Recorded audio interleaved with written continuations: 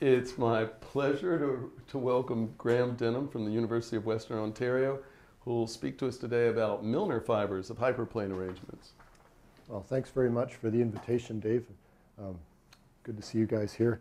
Um, looks like I've got some students in the audience, so um, you know, I, I'd send me some signals if it, one way or the other, if it doesn't seem to be going your way. Um, so I, am not going to assume any background with hyperplane arrangements particularly, um, but I, I, suppose there's some algebra and topology around here, um, some singularity theory. Thanks, Dave.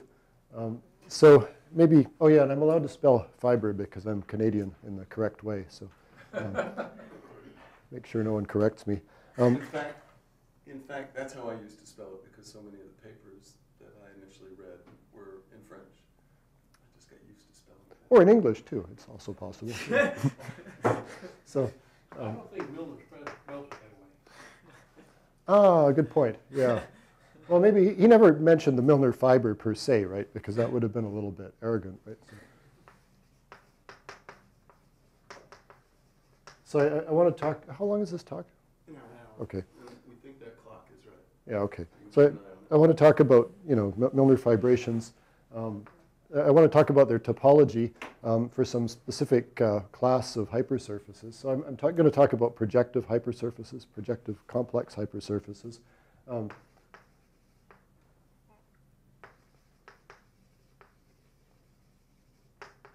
So I should say something about what my guys are. These are realizations of matroids or hyperplane arrangements.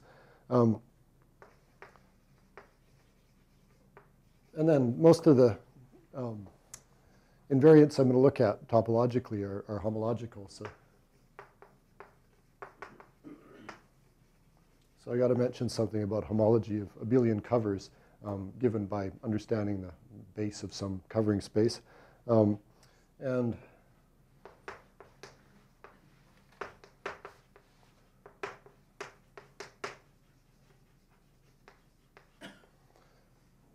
part, of the moral of the story is that these uh, Milnor fibers of, of hyperplane arrangements are, are somehow um, more interesting than um, the, another topological space which you associate with arrangements, namely the hypersurface complement, um, which is something well understood.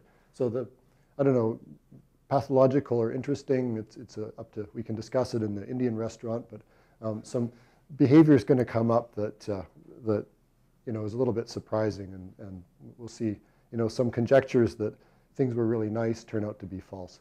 Um, and some of this will be uh, um, discussing. I'll forget it in the talk, so I'll say some of this is joint work with uh, Alex Suciu, since he seems to be in the audience.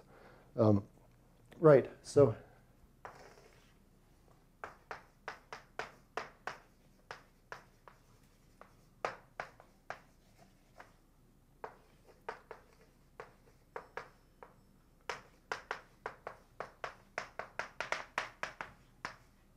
So, so let's imagine a homogeneous polynomial of degree n, um, n in, in a polynomial ring with L variables.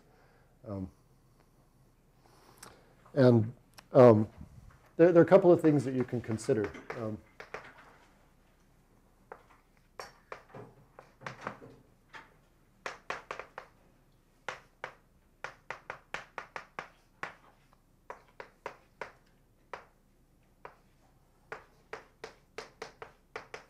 there's the hypersurface itself. Um, I could consider um, the uh, projectivization of the hypersurface, which I'll, I'll, just put a little bar on my F if I mean the projective version. So that's a projective hypersurface. Um,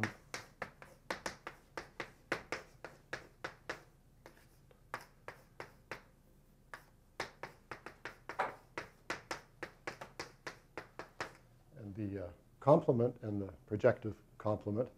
Um, so the, uh, you know, the usual game is that, you know, my hypersurface should be singular. Um, the, the complement is, is some open complex manifold. Um, then we, we have a fundamental result. The, the evaluation map of this uh, polynomial on its uh, non-zero locus um, is a fibration.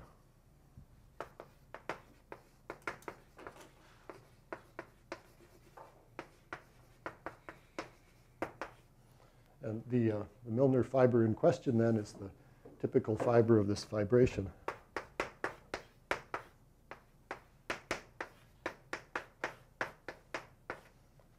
And since all my fibers are created equal, I'll fix the one over the point one. Um,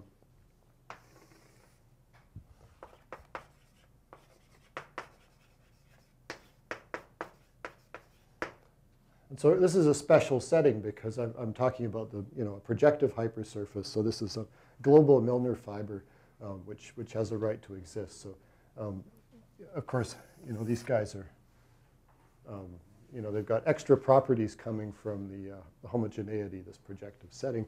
In particular, um, there's uh,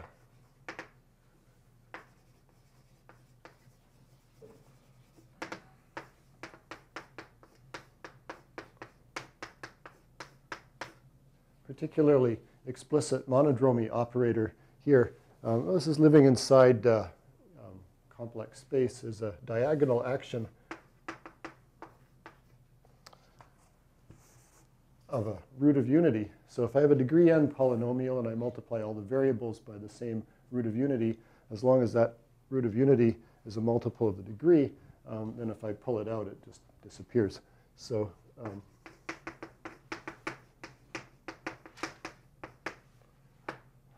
So this restricts to a um, automorphism of the Milnor fiber. So, pardon me for peeking at my notes. Oh yeah, right. So then the guys I'm interested in are uh, going to be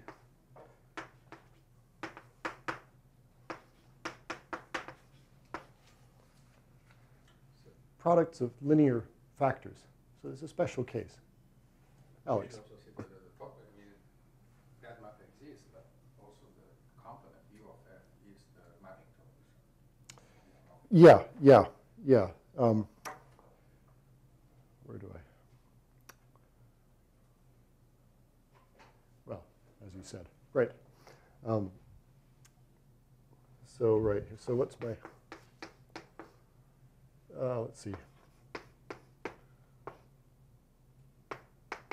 The, the projective complement. So this is in, you know, three or two variables. So if I projectivize, I'm in P1. If I cut something out of P1, each of these components um, gives me a point in P1. So it's a, little bit too small to be very interesting, but um, should always write down the easiest possible case. Um, here's my Milnor fiber. I get that by setting this equal to 1. I've got some kind of um, smooth but non-compact thing. Um, I guess if you wanted to, if you do your exercise, you could, you could uh, close it up in projective space by um, homogenizing. Um,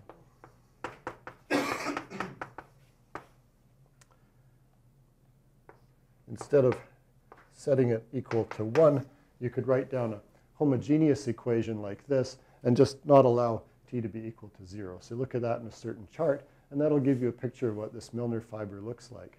Um, so can we do that? Well, let's see. So I guess this is a cubic, a degree 3 polynomial, homogeneous polynomial, so that gives us a elliptic curve, um, except that, you know, it's a little bit bigger than the thing I started with because I was insisting that t not be equal to uh, 0.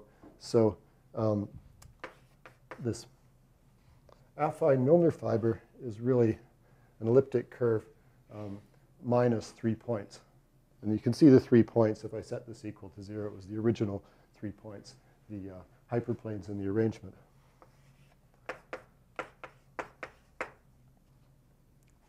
So this isn't true in general, but you know, and then if you like topology, you take your elliptic curve and you poke three holes in it, and then you see up to homotopy, it becomes a wedge of uh, three, four spheres. Um, four, I think. Yeah. And so then you realize that actually this is an old, very old story in disguise because this was actually an isolated singularity. And Milnor also told you that the Milnor fiber of an isolated singularity really is a wedge of spheres. So, so th this is, you know, deceptive because in the isolated case, it's extremely well understood and fundamental. Um, and so what I want to do is increase the dimension and still look at these guys which split as linear factors, um, find some combinatorics governs the behavior of this, and, and see what happens um, to this Milnor fiber. So that's that's been on the mathematical table for about 35 years, um, but it's still not uh, um, surprisingly not fully understood. So let's talk about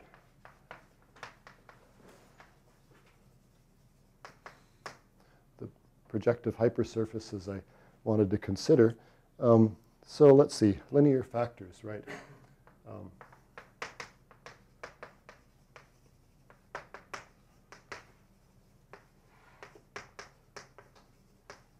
one, one way to set this up is to um,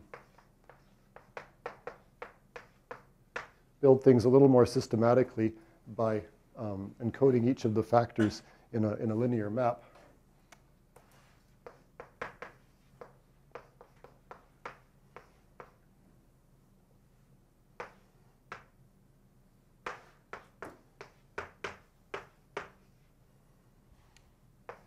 Excuse the change of notation. Um,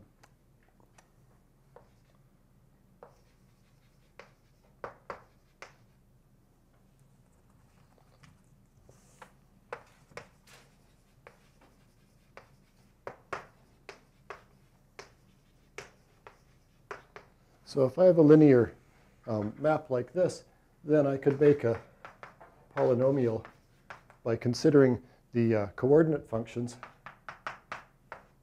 These are going to be functions in n variables, but linear functions. And this will give me um, something like I claimed. Um, so how does that go? Well,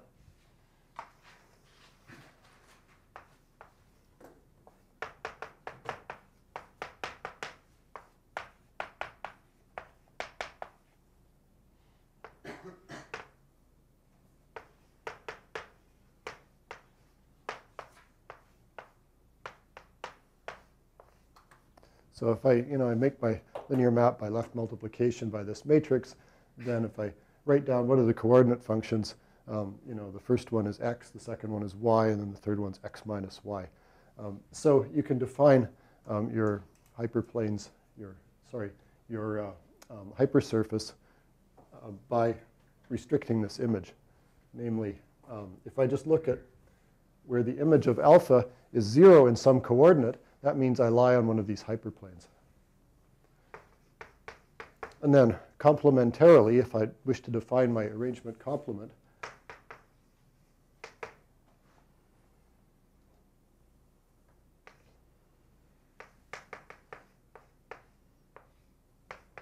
I take this linear space and then I just restrict it um, to the portion of c to the n where none of the coordinates are zero. So can, did, I, did I generate needless confusion? I, feel kind of like I did, but um, you know, so I, I, I'm, I'm saying that there's two ways to consider, you know, this, let me draw the picture inside V of the three lines, x equals 0, y equals 0, and x equals y. Um, and I very equivalently, I could think of this in a three-dimensional space as the intersection of coordinate hyperplanes in C3 um, with the uh, um, complex open torus, C star to the n. Okay, so that's a hyperplane arrangement. Specifically, what are these hyperplanes? Well, um,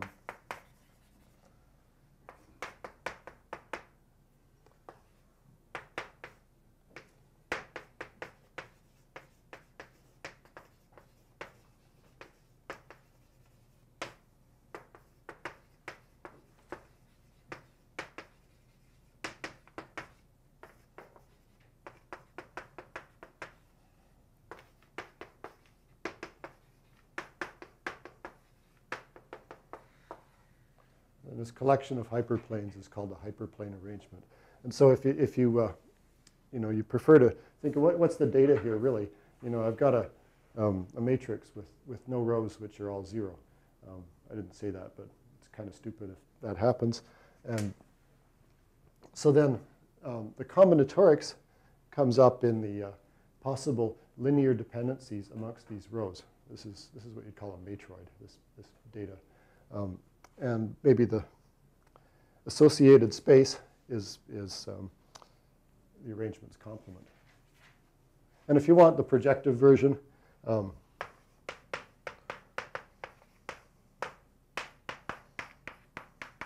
of course, I can just take the quotient by a diagonal C star action, either in here or, or back in here.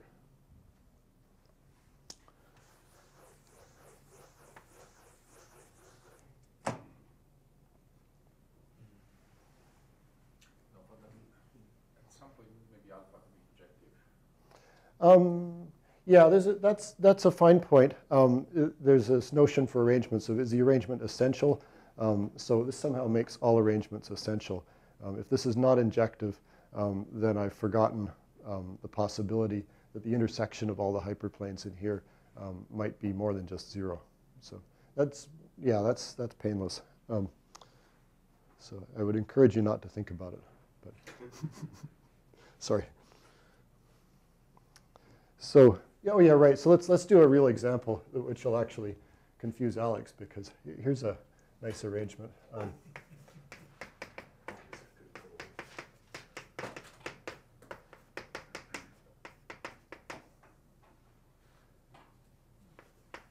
uh, I'll explain why it's confusing. So if I if I write down the Vandermonde determinant, um, th- these are the type A roots, right? Um, so th- that's kind of a nice polynomial that splits into linear factors. Um, and it turns out that's pretty interesting. If you write the corresponding matrix, um, you know, with entries which are ones and minus ones and the rest zero in all possible ways, yeah, that doesn't actually define an injective map, right? There's a, there's a one-dimensional kernel. But let's just pretend that doesn't happen. Okay, so, so how about this guy? Well, right. Um,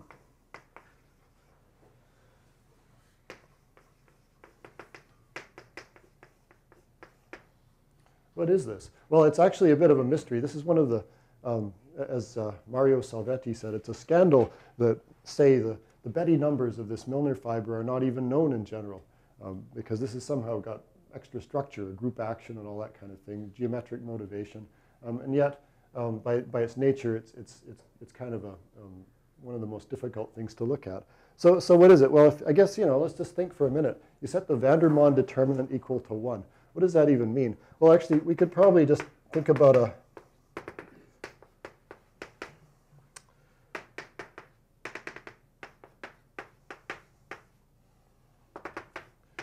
the real locus. Um,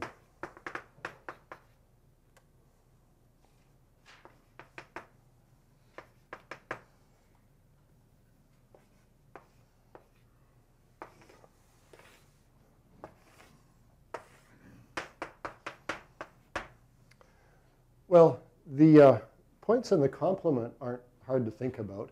Those are n tuples x1 up to xn, where each of those variables takes on the value, a complex number. And, the, and, and if, the, uh, if you're in the complement, that means that none of these differences is zero, so all those points are distinct. So that's, that's the configuration space of n ordered points in C, if you like. Um, so that complement's been around a long time. How about the Milnor fiber? So again, I'm looking at points in C to the uh, L plus 1. Um, so I want a L plus 1 tuple of complex numbers with the property that the Vandermonde determinant has determinant 1. So what is that? Well, I guess these are really points on a moment curve, right?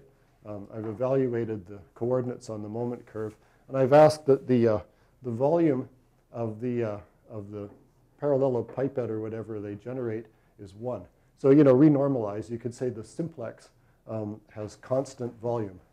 So I want all tuples on the moment curve where the simplex has constant volume. Um, I guess that's a real story I'm telling now. But so what is that configuration space? Well, that's the Milnor fiber of this, uh, of this polynomial. So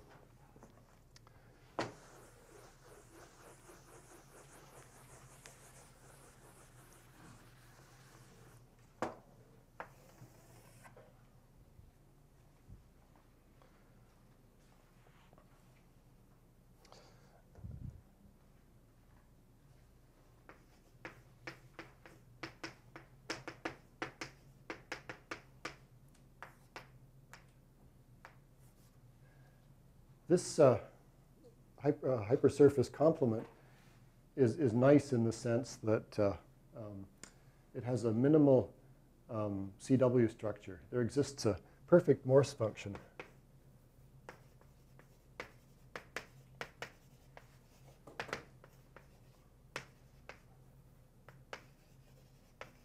up to homotopy.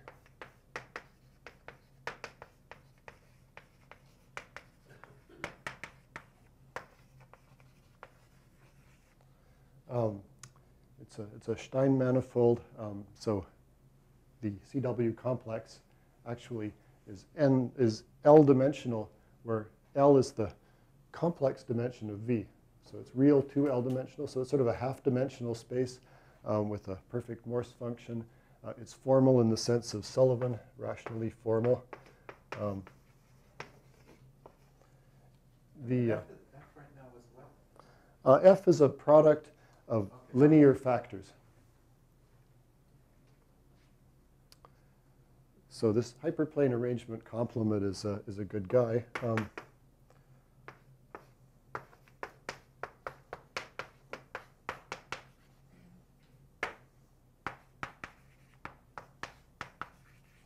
the uh, cohomology is known even integrally, um, combinatorially presented, and in particular torsion-free.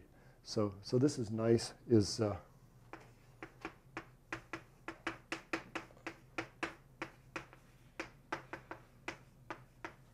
so maybe you, could ask, and, and it was asked in the 90s, is, is the Milnor fiber of a hyperplane arrangement nice in some sense too? In, could, could you compute its cohomology? Um, is it minimal? Um, is it torsion-free? Um, and it turns out that the answers are heuristically not nice. Um, but only sometimes. Sometimes it's nice. So, so let's talk about that. Um, let's, yeah, yeah, yeah, exactly. Yeah, yeah.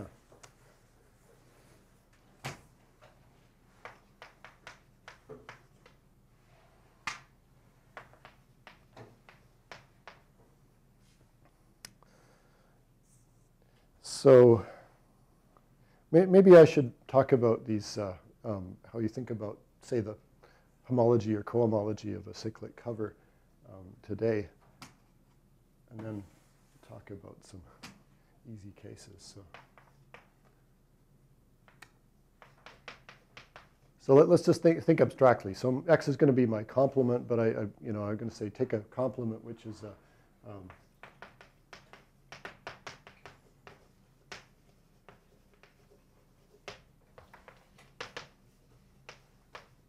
something friendly for topology, a um, finite type connected CW complex. Um, Maybe I've forgotten some of my topology. What is finite type? oh, I mean, there's a finite number of cells in each Oh, dimension. okay. And in fact, without loss, we could just say even a finite CW complex, but, but this is really all you need to um, make most things work nicely. So then let- let's let G be the fundamental group. So I'll assume it's not simply connected or this would be boring. These, these arrangement complements are not simply connected. Part of the background story is that the fundamental group of the complement is usually something interesting. So um, So covering space theory, if I had a, let's, let's restrict to abelian covers. Um,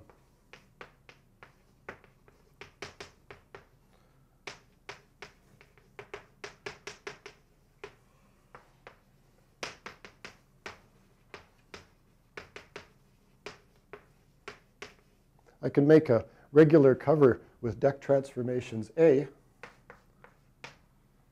Um, X and chi are different letters. Um,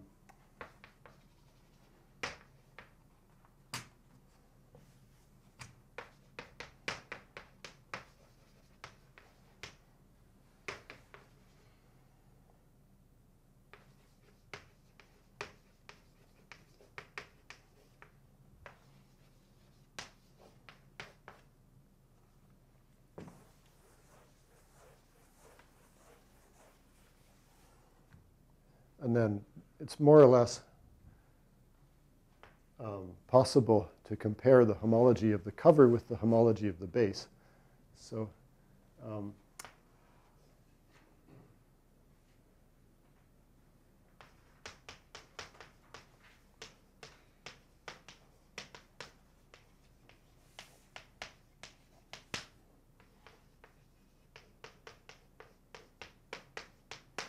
at least if you work with an algebraically closed field, um, if it's positive characteristic, I want it to not divide the order of this, this uh, abelian group, otherwise maybe you expect something bad will happen.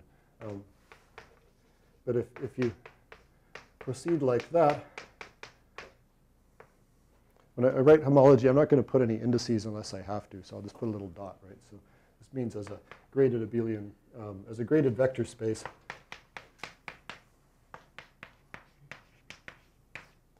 by Shapiro's lemma or the Serre spectral sequence or something, you get an isomorphism of this form that says that the uh, homology of the cover with trivial coefficients is the homology of the base with, uh, with uh, coefficients in some representation of the fundamental group.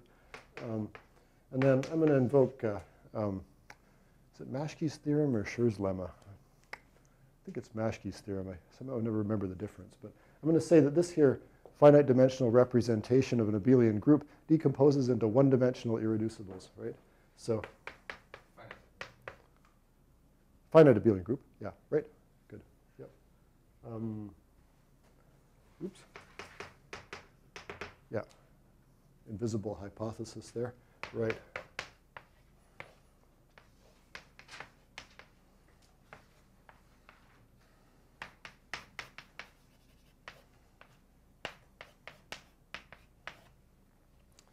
And to get one-dimensional irreducibles, you do a, I- I think of it as a Fourier transform, right? You take the uh, group homomorphisms into the non-zero elements of the field, and then um, this parameterizes the uh, one-dimensional representations that arise.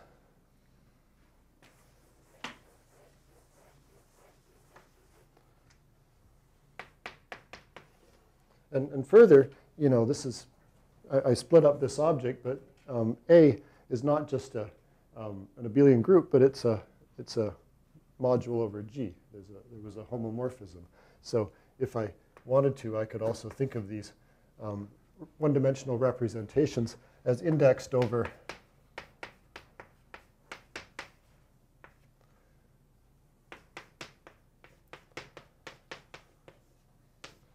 um, one-dimensional representations of the fundamental group that factor through A, um, just by composing maps and um, these, these hats reverse arrows. So, um, yeah, whatever it is, it's it's a, it's a recipe. Um, so I can compute the homology of the cover using um, some information about one-dimensional representations of the fundamental group of the base. Um, yeah. So what about that? All right. So then back to the Milnor fiber.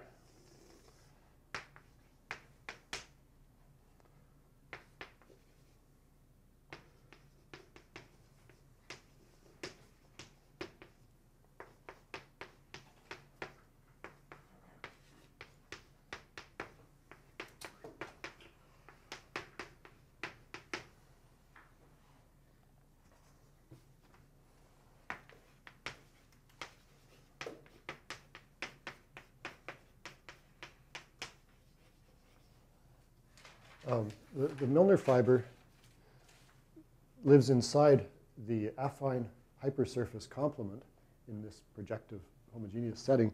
Um, so when I use the projectivization map, um, I land inside the projective complement, and it's an exercise to see um, that this is a, actually a, a covering. Um, there are endpoints given by translations by roots of unity diagonally um, which land on the same point down here. So the deck transformations are the uh, given by the monodromy.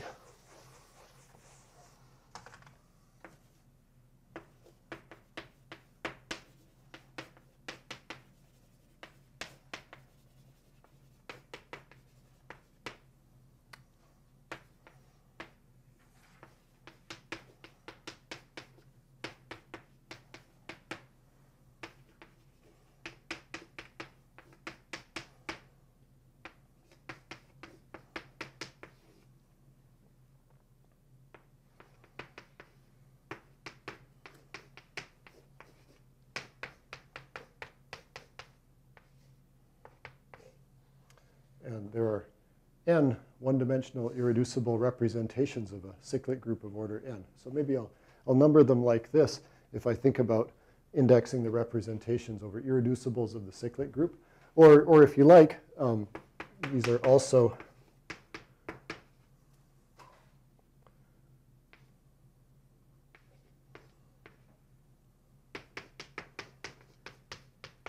given by one-dimensional irreducibles of the fundamental group. And I have to say what delta is. I guess there's some classifying map for this, uh, this cover, which I should call delta.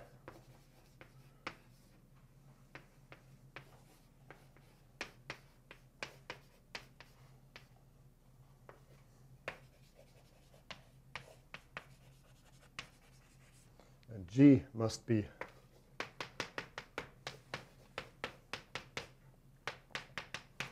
fundamental group of this projective hypersurface complement. So maybe I should just pause to see if I can say anything that makes that better.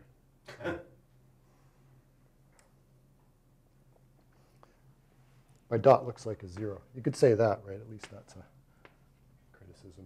Yeah. So, so in any case, there's n factors in, in each case.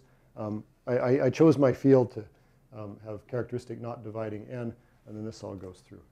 Um, so Just see if the delta is a diagonal factor. yeah, well, you have to pick generators for g in order to say what that means. But if, if uh, this actually factors through the abelianization of g, because this is a map to an abelian group, and then the abelianization of g, that's a good point Alex makes, as always, can be identified with h1 with integer coefficients. And then you can find a preferred basis in there um, where each of these generators um, maps to the same thing, the class of 1 in, in this quotient. Um, yeah, there's, there's, a, there's a longer story which I, I suppressed, but you know, the, the role of that C star to the n, that torus we, we mapped into, um, can, can be brought into this story to, to see that these things sort of can be written down um, nicely. But easy to say too much about that. okay, so what about the homology of the Milnor fiber? So, so isn't it done right? So okay, so we said the base was nice. The homology of the Milnor fiber of an arrangement or any complex projective hypersurface is given by some data involving the base. So what? Well, these, these aren't, that's not a trivial representation, and I, I mean that in a technical sense. Um, so, you know, you have to understand cohomology of the uh, base with uh, non-trivial local systems, and, and that might be, as it sounds, non-trivial, right? So, so we could talk about these easy cases, though.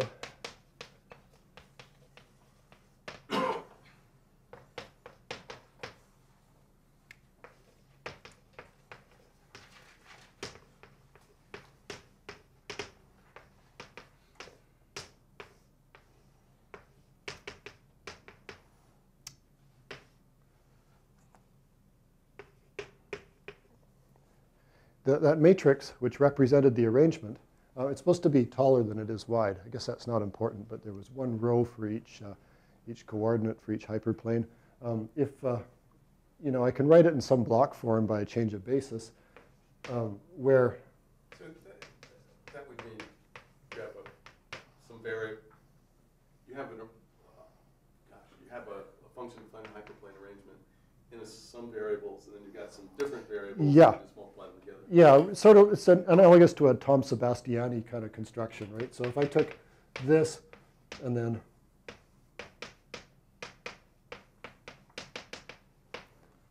excuse my handwriting, but you know, if this were my polynomial and I could separate it into two blocks of variables like that, um, that's called decomposable. If, moreover, the number of pieces in each block um, are relatively prime, um, then all the fun goes away.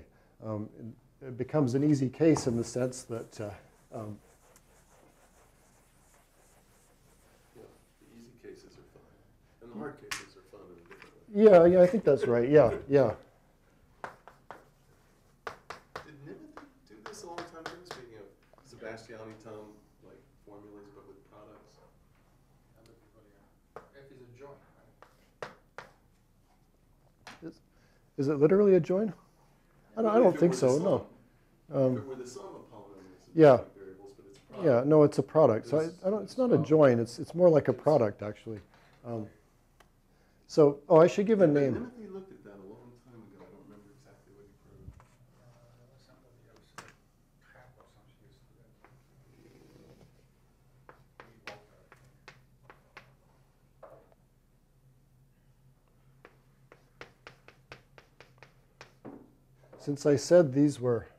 um,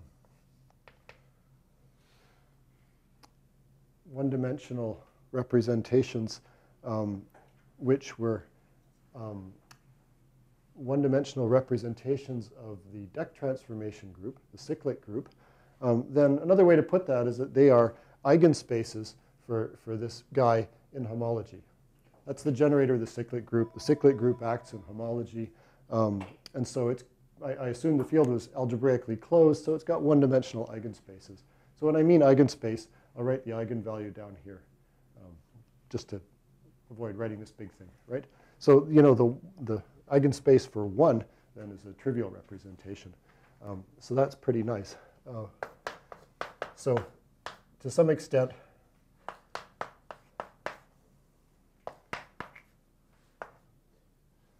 Is there some algebraically closed field that's going to be relevant other than C? Yeah, I know. You're wondering if I'm just being annoying, right? But I'm not. I'm gonna, I'm gonna. I'm gonna pull out one other than C. But for right, right now, just yeah, think C. C's fine. Yep. Yeah. So yeah, with with this hypothesis, then the uh,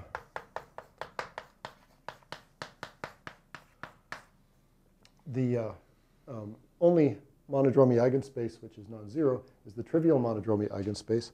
So then that representation is actually the trivial representation, and that direct sum decomposition says that the homology of F is the same as the homology of the complement, um, which turns out to be the homology of the complements, the product of those two complements.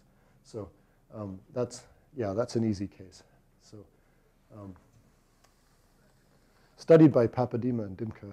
Um, yeah, comment? It's kind of generic case in some sense, right? You take the generic polynomial in some sense, that would be, that's the answer you expected. Do generic polynomials split up? No, Oh. I mean, it happens even if it doesn't split up, right? Well, no, something else happens. Let, us do another case which I'll, I'll call generic in the technical sense. And, the, the- you know, I, I, I, I have to make a point about this. So um, let's see. So, you know, I've got here me uh, an n by L tall matrix. Um, we'll say it's generic if all the uh, maximal minors are non-zero. So this is it's, it's a, known as a re- representation of the uniform matroid. Um, and so, of course, that is sort of generic in, the, in uh, any suitable sense, right? Um, so you have to watch out that you don't assume that all arrangements are generic, because some people sort of think of that. You know, these guys have, uh, you know, the hyperplanes meet um, transversely, you know, normal crossings uh, um, in the projective setting everywhere. And so, you know, that, that is very abundant, because, you know, if you choose one at random, it's going to look like that. But these are not the interesting ones. Um,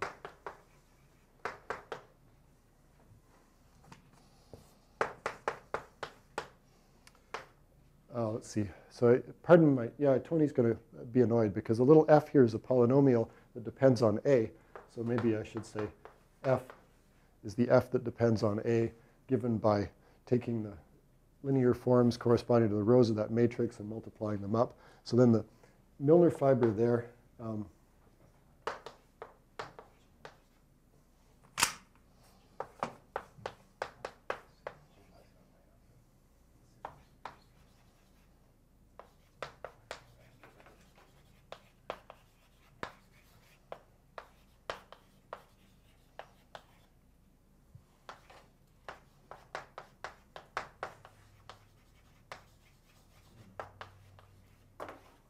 I was just having conniptions about the use of the word generic. Yeah, yeah, yeah. No, it's, it's not generic in the algebraic geometry sense. Well, actually, maybe it is. I mean, a generic matrix would do, um, except then we'd have to change the field um, because we wouldn't be talking about C. But if we did it over a function field, then it could be a generic matrix. Um, Yes, but you're saying a larger class, which I would not consider generic, it sounds like. Yeah, fair enough. Right. Um, yeah, yeah. I, I, the term representation of the uniform matroid is probably the way to go. Um, so, um, yeah, it turns out then the Milnor fiber is, is uh, comparatively easy to understand. Um, Orlik and Randell showed that it's uh, um, homotopic to the, uh, the uh, projective complement, and that's a pretty easy thing as, as well. Um, wedge some top dimensional spheres. Can you say anything if the maximum minors vanish only at the origin? Um, right, so-called paving matroid. Um, Yeah, yeah. And then, uh, um, yeah, well, you could sort of cheat. Um, let, let me tell you how. So with this result, um, another way to access a slightly weaker statement, just, just the homological statement is, uh,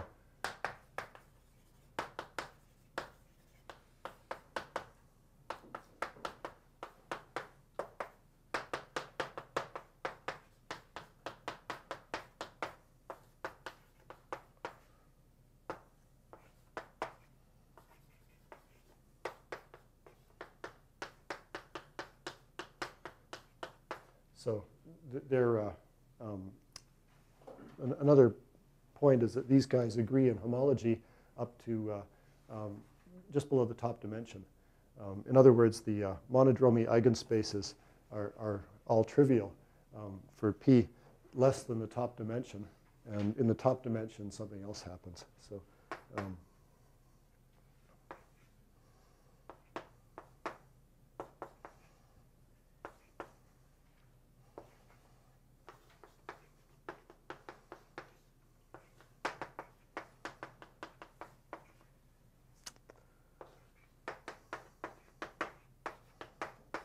it's not too important exactly what happens, but there are some non-trivial monodromy eigenspaces at the top, and the number of them is the um, unsigned Euler characteristic of the projective complement, which in this case turns out to be a binomial coefficient. Um, and that goes back to a paper of Hattori in 74, who, who considered uh, cohomology of, of rank 1 local systems on the complement of these uh, so-called generic arrangements. He do something even stronger, right? The complement is a, a skeleton of the torus. Yeah, yeah. Hattori showed that, uh, yeah, this, this is the skeleton of a torus, yeah. yeah. So yeah, I, I'm, I'm phrasing things homologically, but you know, sometimes there's something stronger um, that doesn't fit in with the plot of my talk, so I'm just kind of sweeping it under the rug.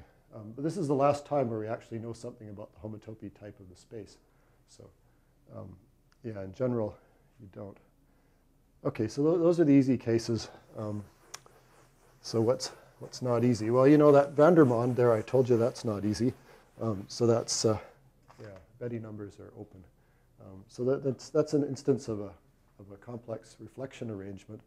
Um, and reflection arrangements are, are, you know, one of the motivating examples of hyperplane arrangements. They tend to have interesting symmetries, um, you know, highly non-generic linear dependencies amongst the, say, the roots of the root system. And, and so all that makes this stuff kind of, um, you know, most interesting to study in that case. So um, oh, I guess you could also say there are some constraints that are, that are rather deep. Um,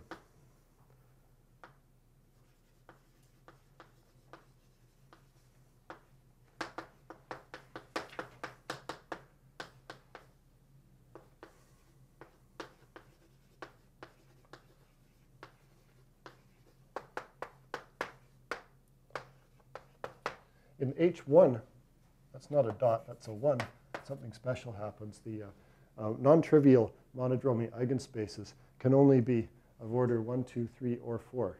Um, don't roll your eyes, that's your theorem, Alex.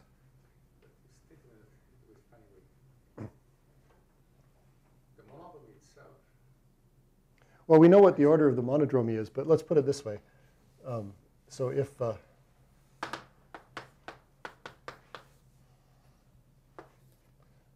monodromy eigenvalue can only have such an order, yeah.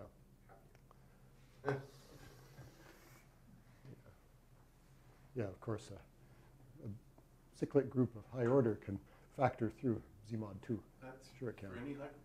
Yes, for any arrangement. Uh-huh.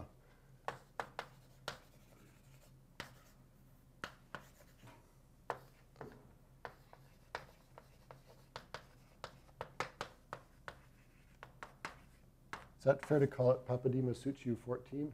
Yeah. So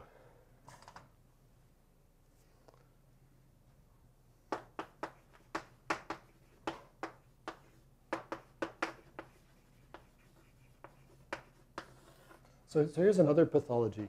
The uh, arrangement complements were torsion-free. Um, and that actually follows not just by direct computation, but it's a, um, because they have a perfect Morse function. They, they have to be. Um, so it, it turns out that uh, um, the Milnor fiber doesn't have to be torsion-free. Um, it, it, was conjectured by Randell that they were.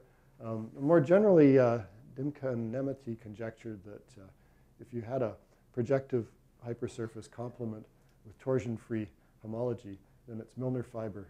Oh, I think they called it a question. I shouldn't call it a conjecture. The, the Milnor fiber was torsion-free as well. Anyhow, the answer to both of those is no um, via an, an, example from arrangements. Um, so let's see.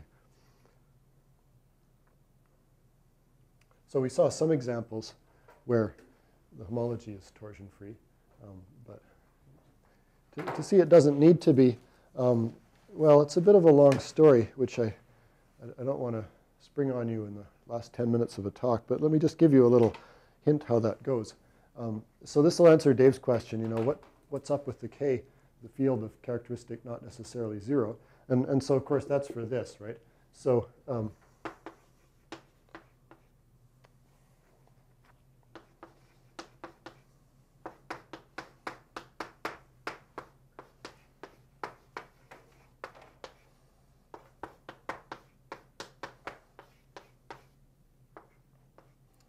sounds kind of simple-minded, but um, you know, how do you how do you find torsion and homology? You know, think, work with field coefficients, but you know, vary the field. So. Um.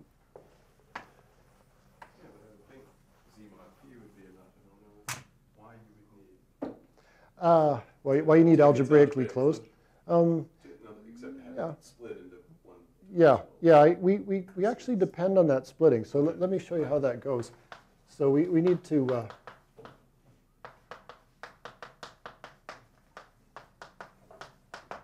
in, invoke a little bit of machinery. Um,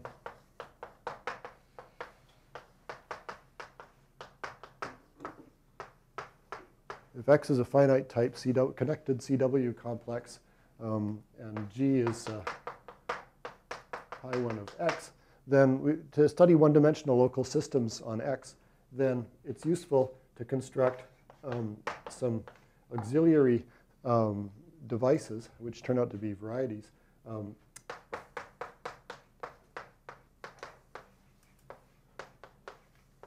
Let's consider all the one-dimensional representations of the fundamental group for which the uh, ith Betti number um, with coefficients in the local system given by that representation um, is non-zero. So would it be fair to call Alex one of the pioneers of this subject? Um, possibly, yeah. So these are called the characteristic varieties of X.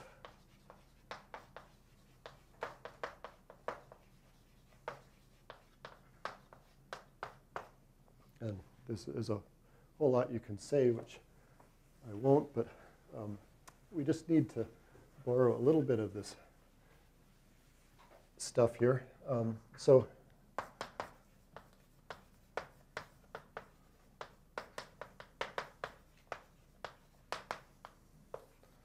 this uh, you know, group of homomorphisms from G to K, um, the non-zero elements of K, is an algebraic group. Um, and this is a Zariski closed subset. So you need to work with some fitting ideals to see why that's so. Um, but so these are actually varieties defined over K. Another reason why I like K to be algebraically closed. Um, and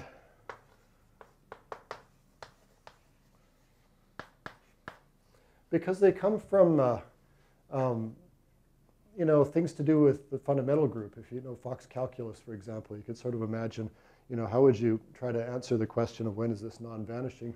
Um, then you end up with equations um, over the integers. And that's, that turns out to be kind of important. So these are, these are varieties over k, um, but they, they were defined by integer equations. So you can think of it as a scheme over z if you like. But um, then they, they help you, if you, if you peek into them, um, good thing this is still around here.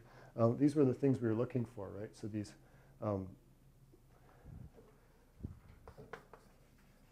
in order to check to see if some particular rho um, appears in the cohomology of a Milnor fiber, I just have to check to see if rho is in the corresponding characteristic variety if I knew what it were.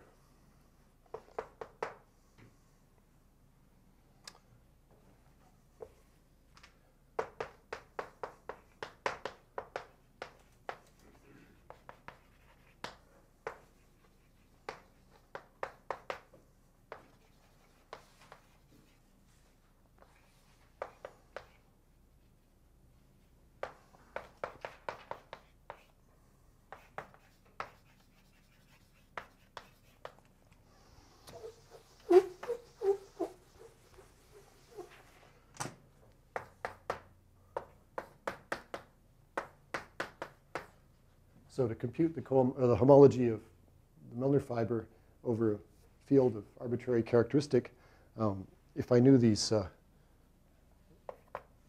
characteristic varieties, um, then you know they, they'd tell me the answer more or less. Um, and in particular, if the answer differed when I changed k, um, then I would know I had some torsion.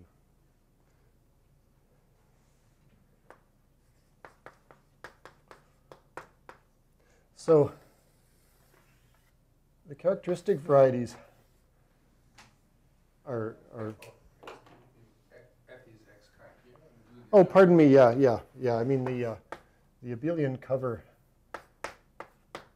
that we like in this talk is that cyclic cover, namely the finite cyclic cover, the Milnor fiber. But in general, you know, you can set this up for any abelian cover. Um, so then, um, if I imagine schematically my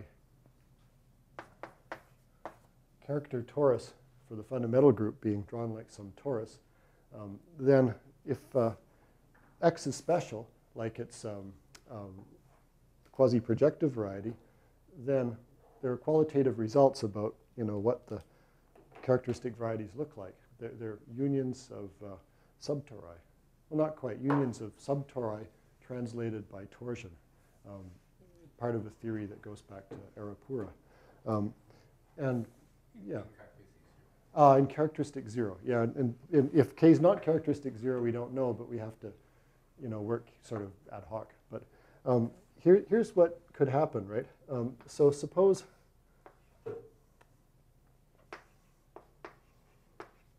I had a trivial representation, um, and then some component which was, you know, a little subtorus, um, but it didn't contain the identity. Uh, it was translated by an element of order 2. So very, very heuristically, um, if I looked at this in characteristic 2, then something funny would happen.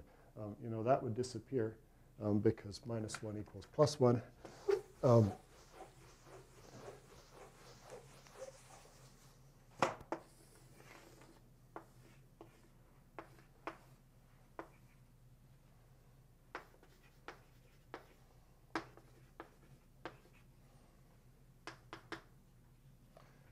and of course you can't draw a picture in characteristic two, but um, the, the idea is that, you know, as you vary the characteristic of the field, if you set this up correctly, um, then, then you may find that uh, um, some part of the characteristic variety um, collapsed or, or did something funny. And so then if, if uh, moreover, I was interested in um, one of these covers, the uh, image of the uh, classifying map is some subgroup here, some abelian sub, discrete abelian subgroup of g hat, finite even, which is you know some collection of points. And then I was interested in did the points lie in the characteristic variety or not, and you could see the answer could change. Um, so then.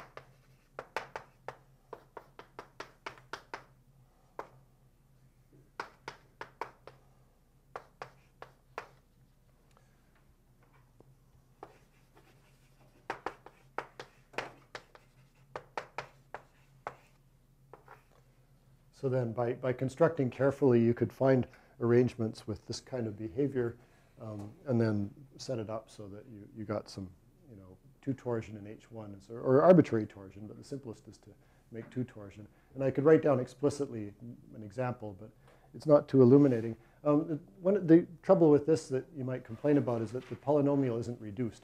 There, there are uh, factors that have multiplicity in that calculation. Some people don't I like those hyperplane arrangements because that means the hyperplanes are being repeated.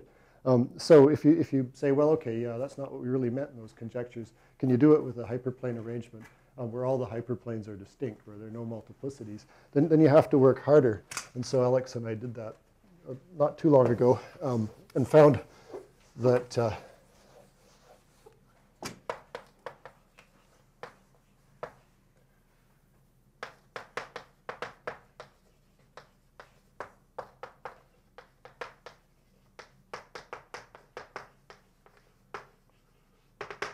by, by some rather elaborate combinatorial machinations, um, you can pull this off and find um, if uh, n equals, no, n equals, if you take 27 hyperplanes in an eight-dimensional space, then you can find that uh, H6 of the Milnor fiber contains two torsion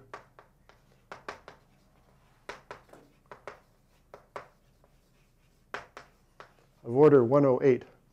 Um, yeah, well, we couldn't improve on that. So that's the, the, the nature of the construction was it kind of bloated things. Um, so it, I guess it remains to ask, could you, you know, is this is it really so hard, or could you do it in H1 or something like that? So that that's unknown. So when was that result? Oh, When did you do that? this is uh, 2014, 15. Just because people like to conjecture things in between 2003 and 2014, when people conjecturing you couldn't do it unless, I mean, with a non-reduced. Safe to say the jury was out.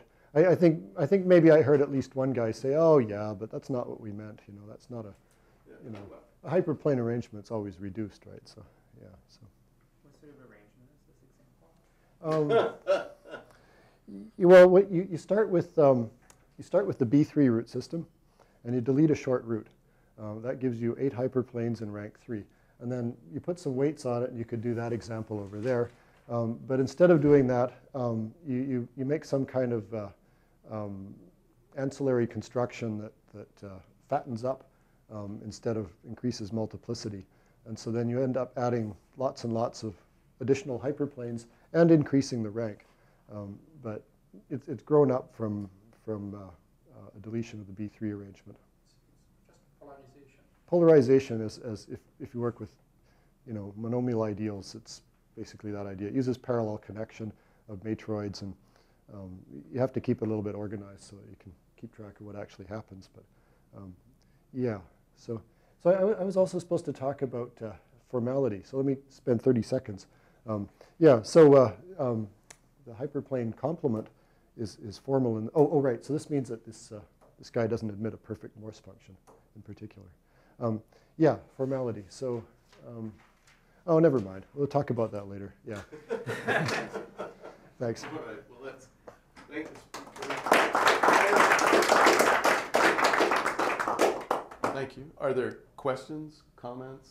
I have questions, but I'll hold them off on mine until other people have a chance.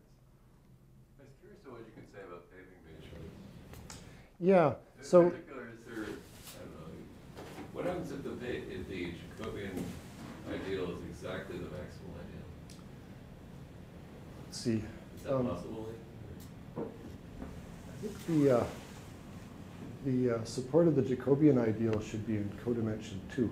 So it shouldn't be the maximal ideal. Um, but, uh, but those, those guys are, um, they, they have some good behavior in that uh, they look like the generic arrangement except in the top two homological dimensions. So I, I think it's reasonable to guess that the uh, Milnor fiber has trivial, only trivial monodromy eigenspaces um, in dimensions except the top two dimensions. Um, and then up there, it's not clear we'd know what they were. So, so yeah, I'm not sure that a, um, say, a, an explicit determination of the homology equipped with monodromy action is, is uh, anyone knows that, but um, it, it sounds like a tractable case, unlike some of these other guys. Other, oh, yeah, go for it. What does it have to do with the critical points of the master function? Yeah, it's a good question, right? So there's a, you know, from some physics point of view, if you pick your arrangement correctly and modify the configuration spaces, you might be interested in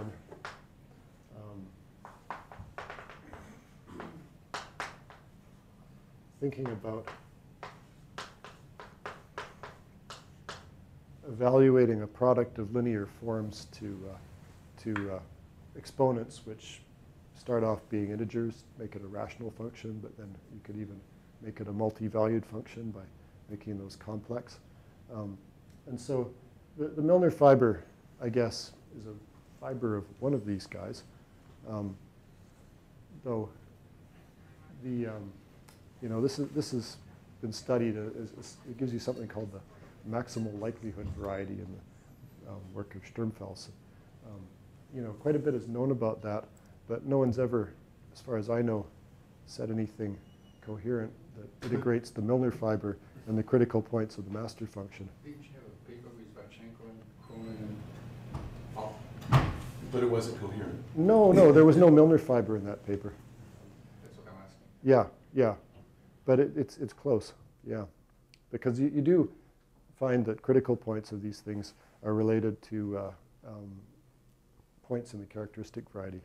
So, but not in a very one-to-one kind of way, unfortunately. But yeah, it's a good question, yeah. How many about this format result? What's the format? Oh, I, you know, I, I, I'm, I'm sorry, what? what's the formality result? Oh, oh, oh. Yeah, no, I'm, I'm not hiding a theorem. I, I didn't, I, I was, I was just about to say, by, by no work of my own, um, that uh, the, the Milnor fiber um, may be formal. Uh, in fact, its, its, uh, its, its mixed Hodge structure is pure in certain cases by work of Dimca and Papadima, in particular in the presence of this totally trivial monodromy. Um, but then by work of one of Dimca's students, uh, Hugo Zuber, um, it's known that for one of the reflection arrangements, the Milnor fiber is not formal.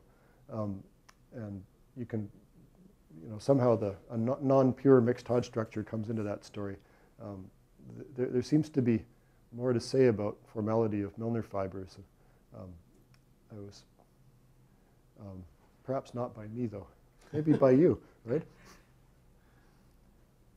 It's, it's good to have problems for students, right? So, yeah. Yeah, you said that the value numbers for, uh, for the Vandermonde, for the reflection arrangement aren't known, that's not been questioned. For, for the complement, they are known, um, For the and, Milnor. and for the Milnor fiber, not, right? Not. Right. Are the, I. Except for small values. Oh, yeah, yeah, yeah. Except for. Yeah, I mean, you can sort of compute it by hand up to about uh, um, n equals seven. Are, are the, are which like eigenvalues of monodromy that appear known? The, uh, the, of course, the constraint is if I'm looking at uh, a configuration space of L plus one points, um, then the polynomial has degree L plus one choose two. So the monodromy group has that order. So then um, the eigenvalues divide that, but that's not very interesting um, in the sense that um, I'm, I'm just saying something silly, but Right. but uh, um, and in degree one, you know, they have to be, um, they could only be three by this previous discussion. And sort of the degree H1 of the Milnor fiber in this family, I guess, is, is known um, uh, together with its monodromy decomposition. But higher up, um, it's, uh, that's where it gets dicey. Even then, I'm not sure if it's known, it's hundred percent. Because of these torsion points like RPC varieties, the isolated points which are not known. Oh, even for H1, eh? Yeah. Yeah, so it, that's, okay. So it's, just It's a bit delicate, yeah. Um, right. Perhaps one could come up with some better constraints on the order of the eigenvalues without referring to the machine that has an incomplete um, description, but I don't know. So my question, which may be more of a question for Alex, I somehow missed this result of his with, I think you said Papadima, that the, the order of the roots of unity of the monodromy in degree one have to be, has to be one, two, three, or four. Are there constraints known in higher degrees, or, I know one is special. That's, that's, a, that's One a, is special, but is there anything like that? It's part of, part of the talk I deleted. I was, ab- I was also going to say that you could achieve uh, monodromy eigenspaces of arbitrary order um, if you're willing to go above H1. So that H1 phenomenon is, is uh, it's very, very special. special. Yeah. You mean, you can make them arbitrary in H2? You could Or make you them, can of make- course. If they- you go high enough, you can always, Yeah, yeah. I mean, so there's something a little bit cheap at the very top. Of course, you could have any monodromy eigenvalue for Right. sort of not very interesting reasons, but even further down. So Actually, no, you know, for, for in H one for the reflect for type right, So then by this result, yeah, yeah. although we don't know what the, there could be isolated points. But they, they don't touch this, uh, Yeah. the, the character that gives you the Milnor fiber, yeah, right. Any other questions, Well, I comments? have one question. I was curious about, uh, what kind of a constraint is it if you have a, a family of hyperplane arrangements to insist that the Lê numbers be constant in the family? Can we use your examples to produce, uh, arrangements with non-homeomorphic, uh, Milnor fibers? Sorry, with, with You what, with know what? what Lê numbers are. Lê, oh, Lê numbers. Oh, you have a paper on that, right? On um, Lê numbers and hyperplane arrangements? Yeah, that's right, yeah. Yeah, with five other authors, yeah. So, My only really ridiculous, ridiculously joint paper. I, Yeah. I can't remember if those, were those combinatorially determined for arrangements or They are or combinatorially Yeah. for arrangements. Yeah, so then if you. Which if- is why it was interesting to all those, all these combinatorialists. Right, yeah, yeah. I- I remember that much of it. Right, Um, yeah. So, so you're saying if, if I, if I move the arrangement, um, but keep the combinatorics constant? Yes. Yeah, At least that much of the combinatorics constant. so, um, He's gonna have trouble answering that when he doesn't know how much of the combinatorics that requires to be. well, here's, here's an evasive answer. Um, there is a, you know, there is a, one, one problem which I didn't mention is, you know, is the cohomology of the Milnor fiber combinatorially determined? That's, that's unknown, Really? yeah. Although they're- Even, w- There- even the Betti There, numbers? there are partial results. Yeah, Even the there's- Betti numbers are unknown? Even the Betti numbers, yeah. So the torsion thing makes you think it's not, right? Oh, no, that's, oh, No. that's, even that torsion came about for, not, not by some trick of the actual matrix, but by combinatorics, so. Hmm. All right, at some point we should stop, so let's thank the speaker again.